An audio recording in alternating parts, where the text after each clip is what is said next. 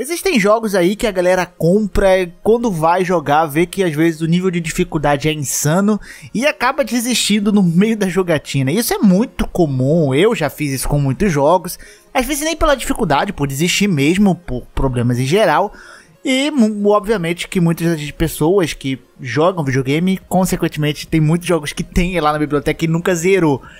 E hoje nós iremos falar justamente disso, de jogos que pouquíssimas pessoas ali conseguiram terminar, jogos que tem ali uma taxa de pessoas que zeraram ele bem baixa do que o comum. E muitas vezes justamente isso é por causa de que a dificuldade do jogo é extremamente elevada, o que faz muitos players desistirem no meio da peleja. Então, antes de começar o vídeo, deixa o like, se inscreve no canal, lembrando, se quiser concorrer um PS5 e um Xbox Series X, acesse o primeiro link na descrição, leia as regras para você participar, puxa aquele banquinho, vem comigo pro vídeo. Nós temos um game aqui, né, que foi bem inspirado no estilo Souls, que é o The Surge. O primeiro The Surge, ele foi que introduziu todo o esquema, né, do The Surge, o fato de você ter peças de armadura e você poder atacar nessas peças em dos inimigos, todo esse tema futurista do jogo e etc. É um jogo interessante, é um jogo do estilo Souls que eu particularmente até gosto, só que por incrível que pareça, cara, o The Surge 1, ele tem uma das menores taxas de pessoas que completaram ele que eu já vi. E engraçado, porque no 2 essa taxa é maior, e eu acho o 2 muito mais tenebroso do que o 1. Tipo, no primeiro chefe já você quase quer desistir, porque é realmente muito difícil. No 1 é um pouquinho mais de boa, mas ainda assim a galera dropa esse jogo de uma forma absurda. Não sei se é só apenas pela dificuldade ou se é o estilo de jogo que muita gente ali acaba não apreciando tanto na progressão, mas o simples fato é que The Surge ele possui dois finais, tá? Um desses finais ali você só tem que fazer um passozinho a mais, né, que aí você vai ativar um final ou outro. Só que ainda, né, por mais que esses finais meio que sejam divididos entre os jogadores, tem uns que fizeram os ambos os finais fazendo backup de save, por exemplo, ainda assim a taxa de compleção dele é absurdamente baixa. Pois é, os caras não tiveram paciência de zerar o joguinho, tanto que um dos finais você tem 1% dos jogadores que tem o jogo que completaram. E o outro final que é um pouquinho mais popular 4%. Ou seja, se você somar mais ou menos 5% ou menos, porque tem gente que fez os dois finais, né? Então 5% aí colocando em alta dos jogadores em média zeraram The Surge, cara. É um número muito baixo de jogadores que tiveram a paciência de chegar até o final desse jogo. E porque ele é muito difícil, é um dos maiores motivos. E é, você passa malzinho mesmo no jogo. Nós temos um joguinho de RPG que não é tão famoso assim, que se chama Technomancer. Esse jogo aí, ele tem meio que uma mescla de tipo um Mass Effect na questão de história, o universo, né, na questão científica também, com escolhas ali nos diálogos, né, formas ali de você abordar algumas coisas diferentes também com um combate um pouco ali, tipo action ali, diferente do Mass Effect que é a distância, você tem um combate mais melee, mais próximo com o seu, seu personagem. Fora isso, tem várias builds que você pode fazer e etc. Só que esse jogo ele tem um probleminha que ele é injustamente difícil. Sabe aquele jogo que ele é forçado para poder te ferrar? Então, porque aqui é muito desbalanceado. Não importa o tipo de inimigo que tu vai enfrentar, você vai levar sova. Você vai sofrer. Você vai morrer para qualquer coisa. Os inimigos, eles são tipo aquela coisa que acontece um pouquinho no Dark Souls, que é, por exemplo, você não consegue se esquivar em um lugar fechado, mas os inimigos eles conseguem aqui nesse jogo. Então, é, os inimigos são muito desbalanceados, estão sempre mais fortes que o jogador.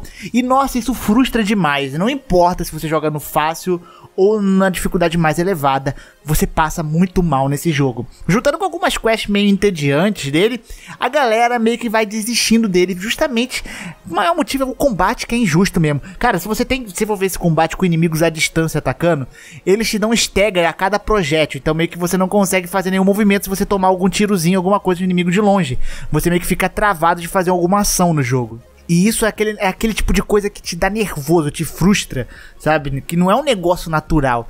E aí, por causa disso, a galera por causa dessa dificuldade e dele ser aí extremamente apelativo na, na questão de balanceamento, faz a galera acabar desistindo dele e só aqueles fortes mentalmente conseguiram zerar. Que para você ter noção esse jogo, apenas 4% dos jogadores terminaram o jogo na dificuldade normal, você na dificuldade difícil e a extrema ainda.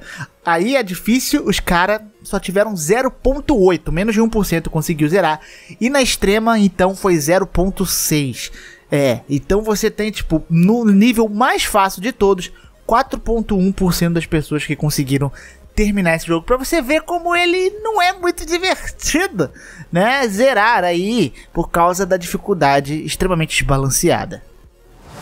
Embora esse aqui não seja tão ali inzerável igual esses outros jogos que as pessoas desistem muito, o Sekiro é um jogo bem difícil e ele tem a menor taxa de pessoas que zeram ele em relação a todos os jogos da franquia Souls. E olha que, tipo, tem uns Souls que são mais difíceis que outros e que ainda conseguem ter uma taxa de pessoas que zeraram maior ainda. Só pra ter ideia, hoje esse número aumentou expressivamente, mas ainda é um número baixo. Mas na época do lançamento ali de Sekiro, no segundo mês mais ou menos, você tinha mais ou menos apenas entre 8% ali dos jogadores que terminaram o jogo, derrotaram o chefe final, o Ishin. Tá? Hoje em dia esse número aumentou bastante, porque já faz dois anos que Sekiro saiu, né? E hoje você tem em média de 26% de pessoas que terminaram o jogo, o que já aumentou bastante, mas ainda é um número baixo se você comparar com seus próprios jogos ali da empresa e também com os outros jogos, como por exemplo você tem o The Last of Us 2, que quase 60% zeraram, God of War, mais de 50%. Então mais da metade ali dos jogadores, da grande maioria, chegam a terminar os seus jogos. E aqui a gente tem uma taxa muito baixinha, né? Que 26% aí é bem pouco. E tudo isso para mim se deve ao grande pivô, o grande vilão para zerar esse jogo, que é o próprio chefe final do game. Muita gente reclama que abandonou o jogo justamente nesse chefe final, porque ele é realmente difícil demais, requer muitas tentativas para você conseguir zerar o jogo com esse final. E os caras passam mal mesmo, sofre. Eu sofri muito. Eu precisei dar uma pausa vários momentos, respirar para voltar depois pro jogo que você acaba jogando um pouquinho melhor, porque é complicado, amigo, é difícil pra chuchuba. E aqui agora nós temos um jogo que ele tem uma forma de zeramento, mas que isso daí é justamente pelo fato de que é o máximo que você consegue avançar nele, porque é um jogo que não era planejado justamente para os caras zerarem. E a gente está falando do jogo do Pac-Man. Os Pac-Mans antigos lá da época de 8 bits Existiam levels que você ia passando e a coisa ia ficando muito mais difícil, né? Só que os desenvolvedores meio que não planejavam que os jogadores chegassem no level 256, que é o level que pouquíssima gente chegou e bateu esse recorde, e que é o level que é conhecido como a tela do falecimento, que é a tela em que o jogo buga total. Isso, né, acontece porque você meio que chegou no limite que o jogo era planejado para chegar e o fato dos levels, do número do level onde ele era armazenado. Porque nesta época a gente tinha é, valores muito menores do que hoje que a gente consegue armazenar. Então o contador do level era salvo no endereço de memória que só suportava até 255 valores. E quando chegamos no level 256, isso causava o jogo de comportar uma forma diferente, né? E aí o jogo bugava, isso era meio que uma reação em cadeia. Você tinha metade da tela ali tampada que você não conseguia basicamente fazer nada. E para finalizarmos, nós temos o jogo Tetris. O Tetris lá do Nintendinho, ele era um jogo aí que era conhecido que se você chegava no level 29, você tinha meio que zerado o jogo. Era extremamente difícil chegar nesse level, mas o jogo, né, o jogador não conseguia lidar mais com a velocidade dos blocos caindo. Então, pouquíssimos chegavam no level 29 e esse era o limite. Acontece que recentemente, cara, o cara conseguiu passar dessa velocidade que era tecnicamente impossível de passar porque as coisas eram muito rápidas e ele ainda conseguiu chegar no level 33, mano. Olha que louco. E para você ver como esse final não era nem planejado, né, para os desenvolvedores em si, porque depois do level 29 o contador simplesmente buga.